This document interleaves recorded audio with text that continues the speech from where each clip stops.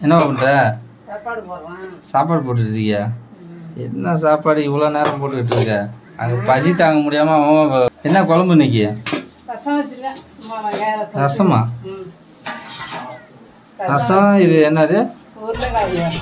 உருளைக்கிழங்கு அப்படியே எப்பா பார்த்தாலே கொடூரமா இருக்கு. அப்படியே இது. அப்பா நீங்க ஒரு புடி பிடிச்சிடலாம் நமக்கு அப்பா. காலையிலே காலையிலே ஒரு புடி பிடிச்சிருவோம்டா போதும் போதும். ஆ போதும். பச்சை காரமா. எவ்வளோ சா- இதா இருக்கு. காலையில ஒரு இன்னைக்கு புடி பிடிக்கணும் சூப்பரான டேஸ்ட் ரைஸை பாருங்க அட கொல கொலன்னு இருக்கு சூப்பராக இருக்கு.